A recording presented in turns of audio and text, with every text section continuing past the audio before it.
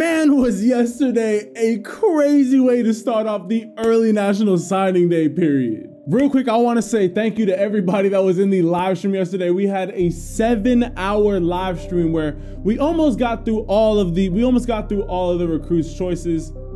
I didn't go to sleep the night before. I was basically falling asleep on the back end of the stream, but I want to say thank you to everybody that was in the stream yesterday.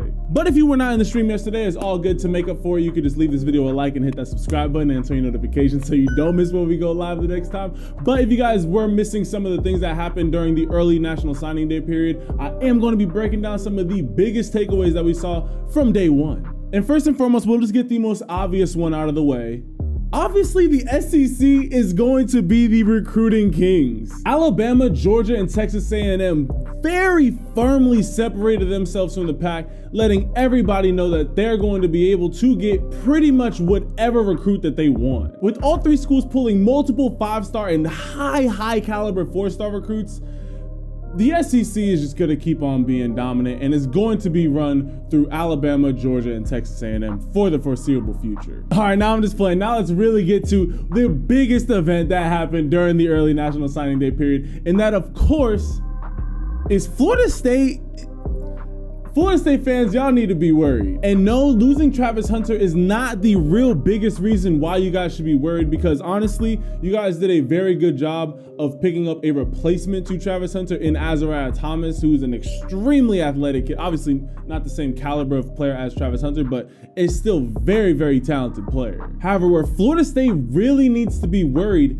is the rise of Miami. Florida is always going to be able to recruit extremely well, but now that Miami has Mario Cristobal there, and Miami pulled some top players, not only in the overall class, but top players from Florida. Florida as a state already has troubles with Alabama, basically the rest of the, the whole SEC pulling most of the, the top tier talent from Florida. And then when Florida State cannot lock down it's the rest of that in-state talent because they're losing it to Florida and now Miami, and with Florida State being in the ACC, which is not attractive at all. I mean, you go to you go obviously Miami's in the ACC too, but they got Mario Cristobal there, who's clearly proven that he's starting to heat up Miami. And then if you don't, if, then Florida is always going to be uh, an enticing option because they're in the SEC. Clearly, losing a player like Travis Hunter is a big deal. However, I think the scarier thing that Seminole fans should be worried about is the rise of Miami because if Miami not not only being a team in the same conference conference starts to beat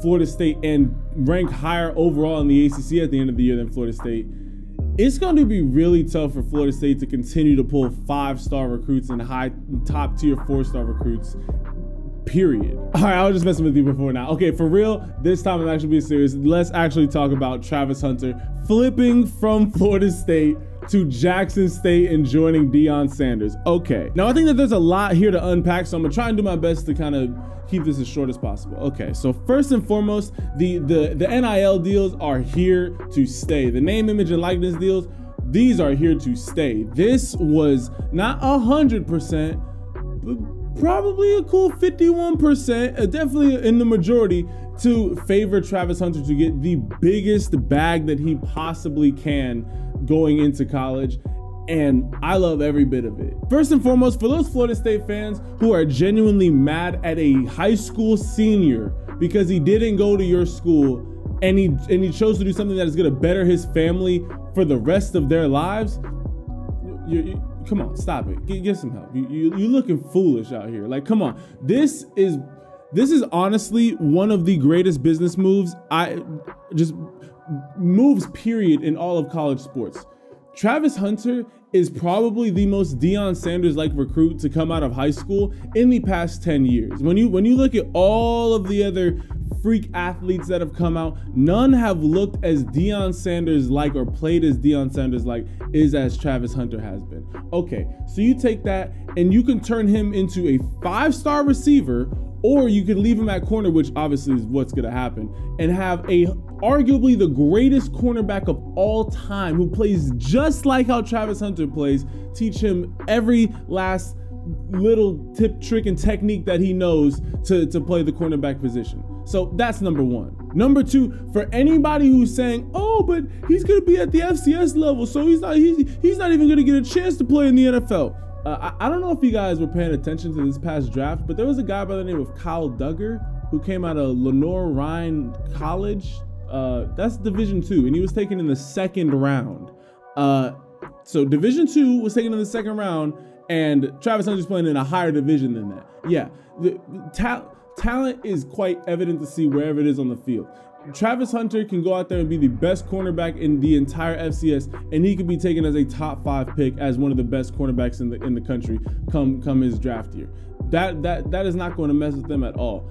If anything, it's going to give him more time to really refine his his technique and his talent versus inferior competition, especially at corner. He could really learn how to how to bait, how to bait uh, quarterbacks, how to set receivers up all that. Obviously, FCS level ball is still very high level football as well. And last but not least, I honestly believe that this is one of the best moves that a that a high school player has made as far as just setting his life up in a positive direction. Travis Hunter, I don't know if you guys, I don't know if you guys pay attention. Travis Hunter is a very ostentatious, a very lives for the show type player and you're about to and he's about to whether he went to Florida State or to Jackson State, he was about to come into a lot of money. Just his presence, he whatever NIL deal he signed, he was about to get a bag regardless but you're going to be putting him with the guy who's already made all the the potential mistakes that Travis Hunter would make in Deion Sanders. In Deion Sanders, Deion could teach him how to properly invest, save, how to spend his money, how, to, how to have his money make money for him. He could teach him how to enjoy how to how to enjoy his money without without overdoing it. Like it's li- literally this is going to be one of the the best situations to just develop Travis Hunter the man. Not Travis Hunter the athlete or the football player or whatever. Travis Hunter the man being under Deion Sanders' wing. One of the greatest moves I have ever seen. When you really when you really look at, at all of the all the interconnecting details of this move this was just one of the greatest moves to ever happen for co- eh, for college football too because now you got HBCU football that could potentially be now back on the rise pretty much you just got to get better coaching to build up the whole league. You can't just have everybody go to Jackson State. But if there's more money pumped into HBCU football to build it back up, to just do, do your research on HBCU football. They used to be running stuff, but yeah.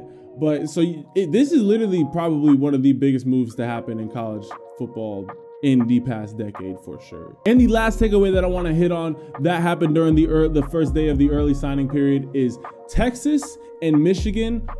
They're here to stay and to make some noise. Now, obviously, Michigan in the college football playoffs, they've proved that they are they can not only get it done, but they're they're capable of actually going to the highest heights of college football. Texas struggled last year. However, with all the additions that Texas made, not only with picking up Quinn Ewers in the transfer portal, but all they had three flips yesterday, and they picked up just some absolute huge weapons on both sides of the ball. And then with Michigan, they did lose out on Deone Walker, which was kind of a big, which kind of a big deal. But they went out and they picked up all of the other every other recruit that was linked with Michigan, they they got. They they only lost one guy, which hey, that's that's honestly that that's those good odds when you look at other teams. I'm, sorry, y'all gonna be the talk. Y'all are gonna be the joke of college football for a minute. I'm sorry. I'm sorry. Yeah, Texas is looking to end its time in the Big 12 strong when heading into the SEC. And so if they're if Texas is able to keep on recruiting like this and keeping the top talent in Texas into at UT, hey, Texas legit might be making a comeback and these Michigan Ohio State games over these next couple years are going to be very fun to watch. With that being said, those are my biggest takeaways that happened on the first day of the early National Signing Day period. It was an absolute crazy day. Uh, we're probably going to be doing another full day stream on Friday because there's uh, Domani Jackson and uh, I, I, forget there's a, there's a couple big names that are that are making their uh, decisions on Friday. So I'll probably be doing another all day stream. So again, be sure to hit that subscribe button and so you know turn on all notifications so you know when we go live. With all that being said, I love and appreciate all y'all. I will catch you guys in the next video. Ciao.